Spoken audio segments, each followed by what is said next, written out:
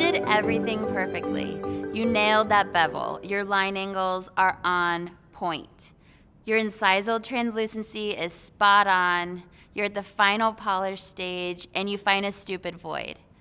Everyone has dealt with this, and you can sit there for years trying to slowly polish a teeny bit of that area over and over again until you remove just enough composite so that you can't see the void.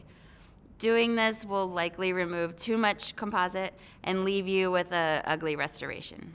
What would be better and more efficient is to just fix it in five minutes. Take a small round diamond burr to prep just as deep as the void. Add some bond and your final layer of composite.